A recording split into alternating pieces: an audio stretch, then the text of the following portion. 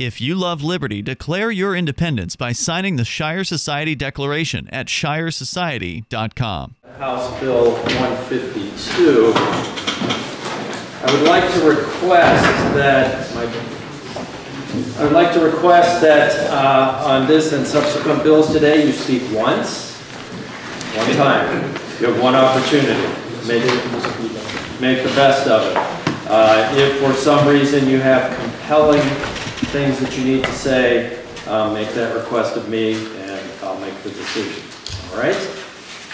All right, so we'll open the hearing on Bill 152 relative to wholesale distributors of alcoholic beverages. Representative Hunt.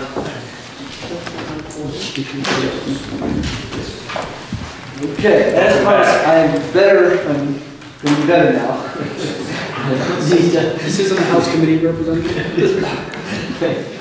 I, uh, I, this one I do know very well, uh, because I actually wrote this language, so I can, I can.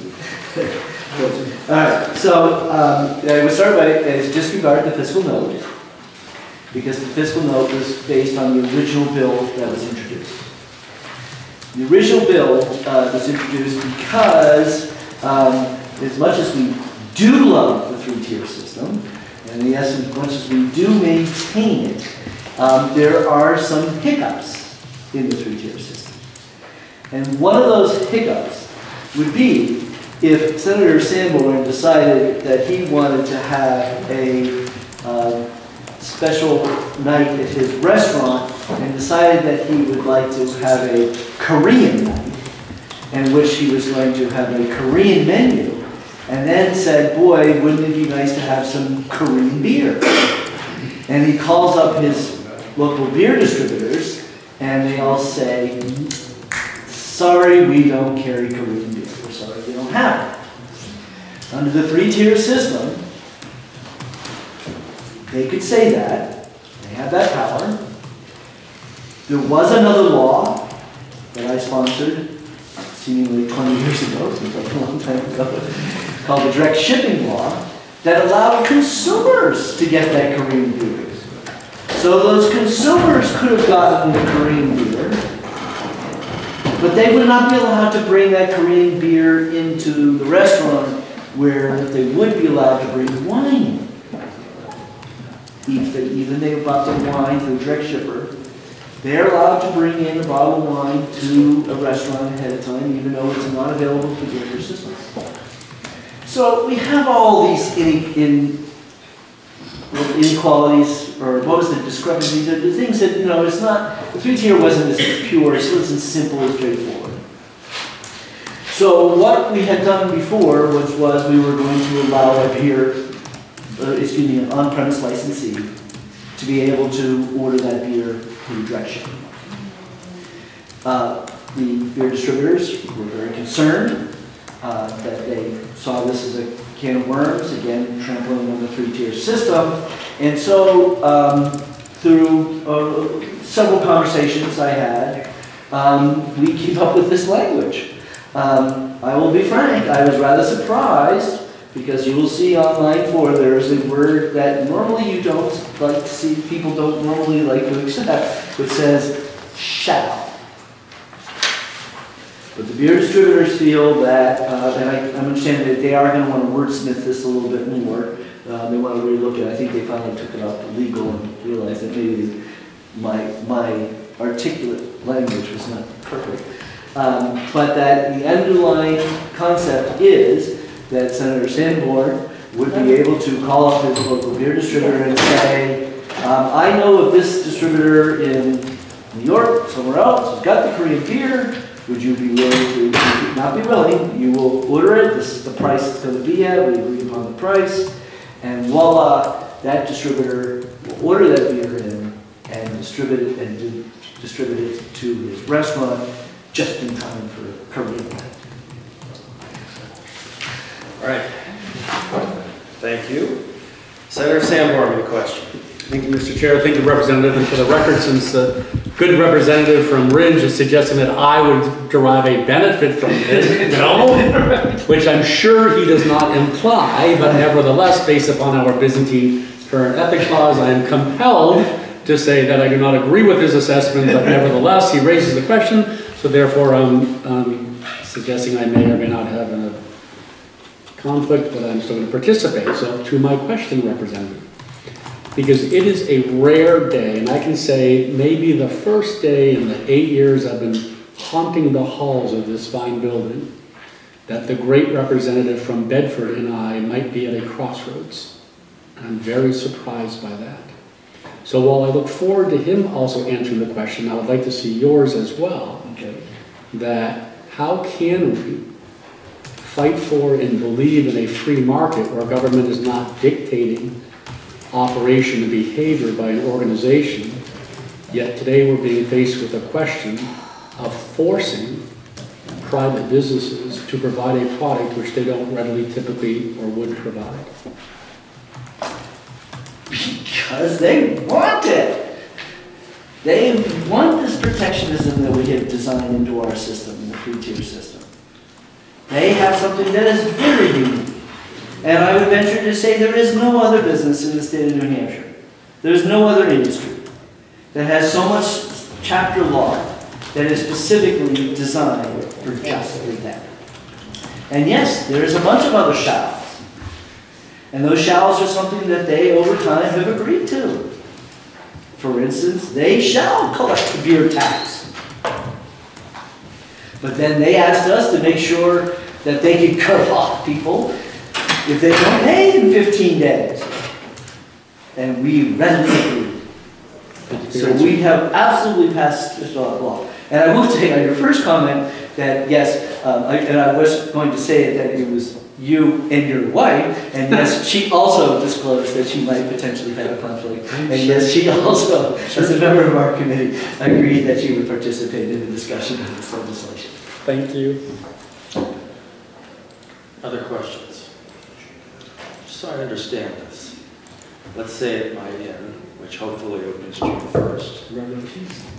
hasn't happened yet. Um, Treated it. I, we have a guest who requests three six-packs of a particular type of innocent gun beer that isn't carried in the state of New Hampshire. I go to the state, I say, I need three sixes of this, and the state would be required to get that. Um, I would venture to say they'll probably insist on doing a case, Huh?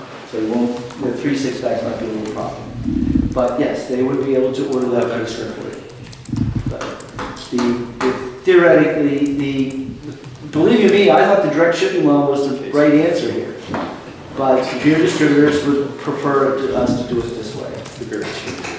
So, yeah, it's just, the just, remember the three tier that I, Yeah, yeah. that the last speaker said I was trying to tear down, tear apart the three tier? I understand. I, I'm, I'm actually trying to work within this, this system. So a case minimum, so I'd have an extra six. Okay. I mean, you know, let's face it, the three-tier, I mean, uh, the beers, when you look at the direction shipping law, um, I really did not understand their concerns because it's so expensive to have out, you know, to have it shipped. Because you're talking about weight, I mean, just the, the weight alone is an excess cost. But the direct shipping law has been very successful. We bring in over a million dollars a year, and I'm very proud of being a sponsor of that legislation. And and so therefore, I will always say that direct shipping law is the right answer. However, this is the the way that we, without upsetting the whole region, without, you know, trying to trample on the system, um, yes, they have, the whole law is absolutely written as to protections. And I would also say to you that was previous, the previous comment I made before. And that is, I used to say liquor laws are upside down laws. And that is, most of the laws we pass here, everything's legal until we say you can't do it. Liquor is not. Liquor is everything Mother made. You can't do anything until we say, yes, you can. And then I found out zoning's the same way. Any further questions? Senator Sam? Um, Representative, if you're doing this for beer, why are, why are we not also doing this for wine and distilled spirits as It's well? not a problem.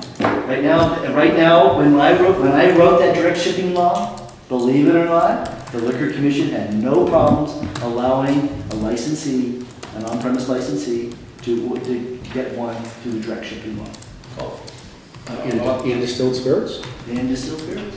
vodka, whatever, direct ship. You wouldn't bother because it, it's too expensive. You wouldn't, but if it, again, if it's gonna be something unique, you wanna do a special scotch night and you wanna get some rare scotches that you cannot get, you absolutely can order. And as a matter of fact, not only have a direct shipping law, we have a whole nother statute in which they can help supply it for you. They can actually help try to find it for you.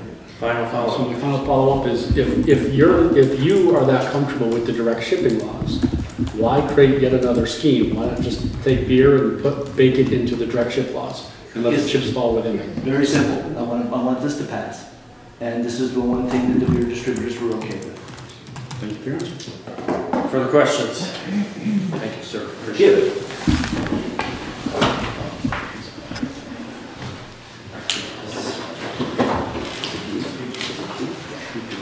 All right, uh, Representative Keith Murphy, uh, supporting wishing to speak. Welcome, Representative. Thank you, Chairman. Keith Murphy from Bedford. My comments will be brief today. Uh, I likewise must disclose that I may or may not have a conflict. If this were to actually pass, it's conceivable that I would like to order a case of beer that I cannot otherwise obtain. Um, The problem this bill attempts to address is that New Hampshire is by far the most expensive market to bring a beer into in the Northeast. Just by way of comparison, Maine, the fee is one thousand dollars one time for the brewer, and a ten dollar per label one-time fee for one dollar and renewal.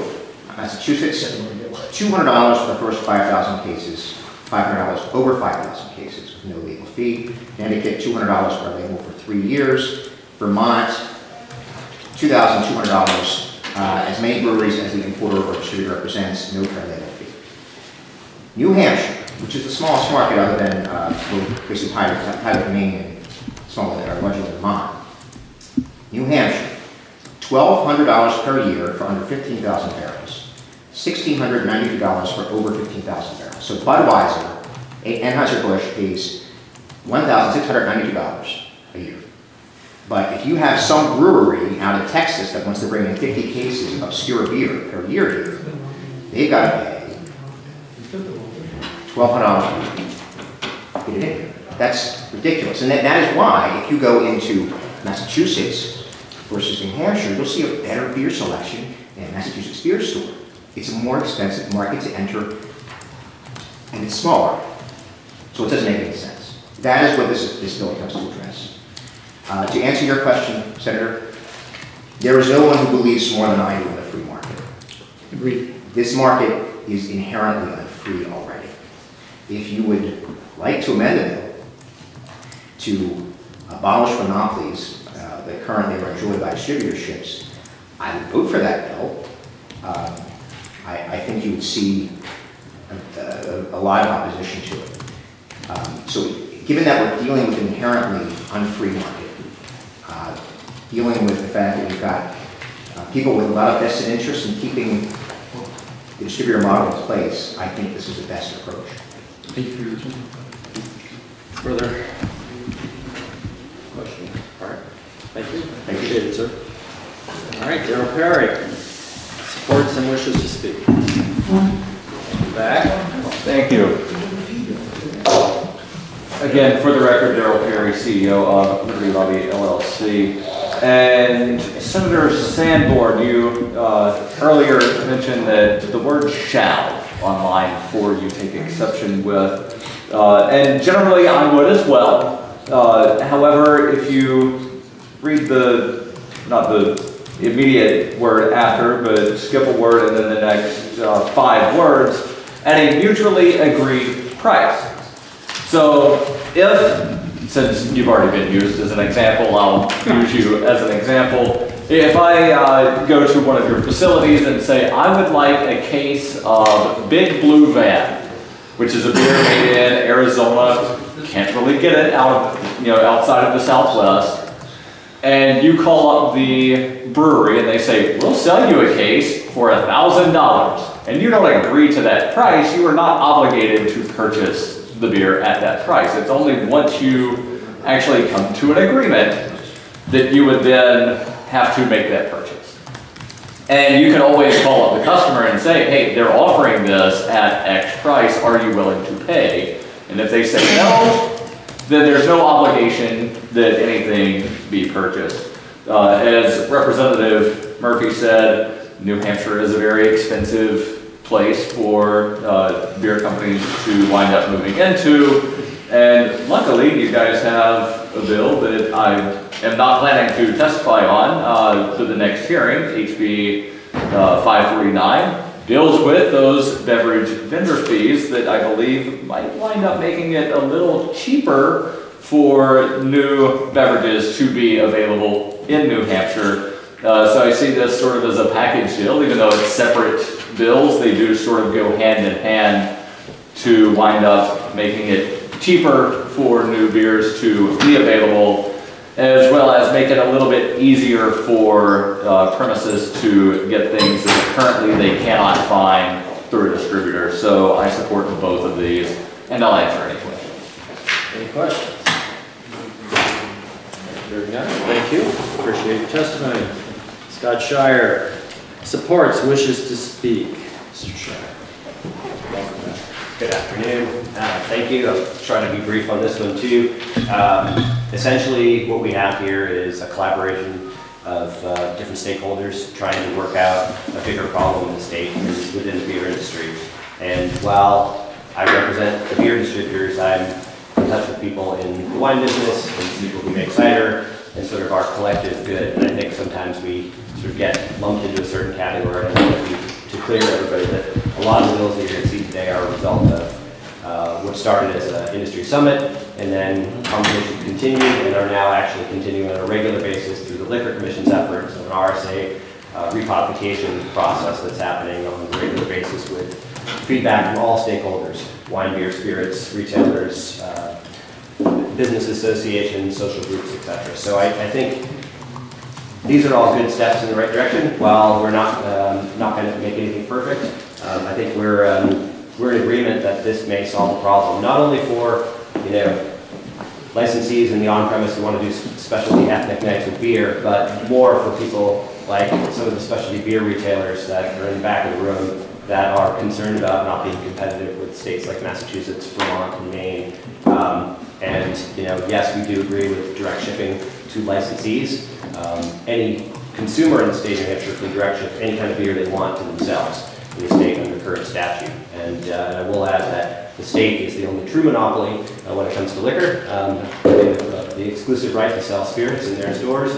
And yes, there are some oligopolies that exist in the rest of the state. And yes, we do do, we are concerned and we do care about the future of, of our business. Um, a lot of it's linked to tourism. So we got, uh, we got feedback from other stakeholders, um, not ourselves, that we needed to, uh, to address some of the language and wordsmith it, which we're working on right now. Um, this is not our bill. This is not the beer distributor's bill. We just happen to be the face of it. We came to this uh, after working with retail partners, uh, on and off premise licensees, and, uh, folks in, in the House, uh, Representative Hunt, and Representative Murphy specifically. So we're trying to, uh, to work this out so everybody gets what they need. Questions? So the bill in its current form is still under revision or? It is, yeah, I think we just got some feedback on Friday, and we wanted, there's a couple of parties that wanted to run through legal departments and so forth and so on, so um, we should have something by the end of this week, and uh, can get it back to you for the next time you meet. Thank you. Look Forward to that. Any other questions? All right, thank you, sir. Thank you. Appreciate it. Uh, both supporting and not wishing to speak, Mark and Melanie Foster of the Beer Store. Um, supporting and wishing to speak is Greg Moore of AFP New Hampshire. Mr. Moore. Welcome. Good morning, Chairman, members of the committee. Thank you for the opportunity to speak here today. For the record, my name is Greg Morton, State Director for Americans for Prosperity. Um, We are here today in support of uh, Senate Bill 152 because even in its current form, we feel it uh, adds three benefits. First and foremost, it gives consumers more choice. Secondly, it makes our, makes our businesses here in New Hampshire more competitive. And thirdly, ultimately, it will result in more revenue without raising tax or fee which from our perspective is a win-win-win. Our preference was the original version of this bill, which allowed, uh, which expanded the direct shipper uh, provisions in state law. We thought that was a better solution, but as Representative Hunt likes to say, sometimes politics is the art of what's possible. And uh, to the extent that this bill does improve the conditions, I will tell you that um, at a personal level, I am someone who likes craft beer. I don't drink wine, I don't drink liquor, I don't drink bad beer. And unfortunately, there are a lot of craft beers that are simply inaccessible. And there are a lot of good, solid beer stores, as well as restaurants who offer high but they simply can't get access to a number of, of really good beers. And um, whether it's traveling to a place like the beer store, or Bert's Better Beer, or Candia Road Convenience, or Prost in Northampton, or Cask and Keg in Laconia, there are a lot of great stores that simply can't get access to a lot of really good beers. And at a personal level, what I do, my solution is I get a couple of friends uh, who all have the same, uh, the same uh, uh, choices about, about beer as I do. About every two or three months, we drive down to Massachusetts and buy some beer that we can't get here. Now, what happens then? Obviously, it's inconveniencing the consumer. Number one. Number two, it's impacting the, the business owners who otherwise would have had the business here in New Hampshire. Number three, it's sending beer tax revenue to Massachusetts or Maine, because I know Maine has much easier, uh, much easier regulatory scheme to get access to a lot of these small, uh, small batch breweries that don't ship literally hundreds and hundreds of uh, barrels each year. At the end of the day, uh, I understand from the, from the distributor's perspective why they might not want to carry an inventory for, for these, a number of these small uh, brewers, but from our perspective, anything that adds choice, um, enhances uh, uh, competition, or and, and, potentially adds revenue to the state of New Hampshire is positive. So with that, I'd be happy to answer any questions. Questions of Mr. Moore? Seeing none, thank you very much for your testimony. All right, is there anyone that I may have missed who wishes to speak for or against House Bill 152? I will call the hearing on House Bill 152 We'd like to invite you to visit freekeene.com. Freekeene.com features audio, video, and blogs chronicling the transition to a voluntary society. Freekeene.com also has comments and discussion forums so you can be heard. Freekeene.com. I should be in Keene, New Hampshire with the Free Staters.